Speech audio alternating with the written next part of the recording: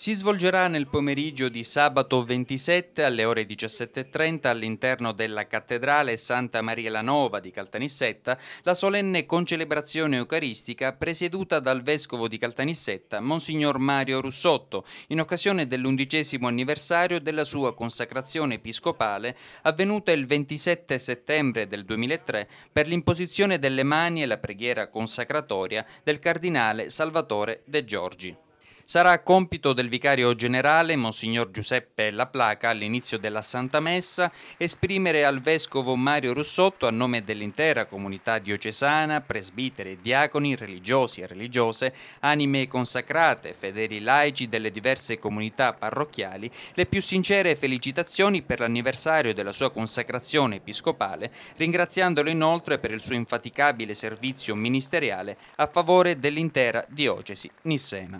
Nel corso della celebrazione eucaristica il vescovo Russotto ordinerà sacerdoti i diaconi Leandro Giugno, alunno del seminario vescovile di Caltanissetta appartenente alla parrocchia San Pio X, ordinato diacono il primo dicembre dello scorso anno, e Massimiliano Antonio Guarino della parrocchia di San Giovanni Evangelista di Campofranco. I novelli sacerdoti, domenica 28, presiederanno la loro prima messa presso le parrocchie di provenienza.